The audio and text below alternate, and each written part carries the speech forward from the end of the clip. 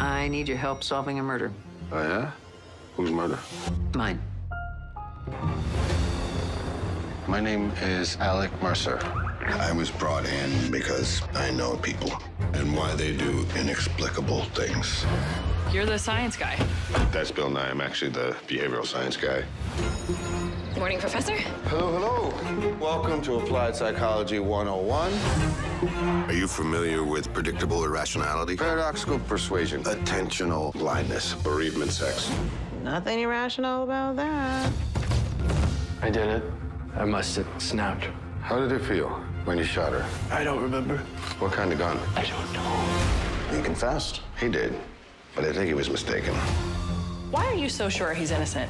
When we remember things, we remember images, specific details. But he's a former Marine who couldn't remember what kind of gun he fired.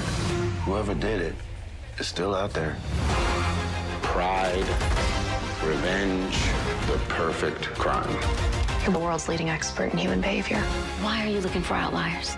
The answer was right in front of us.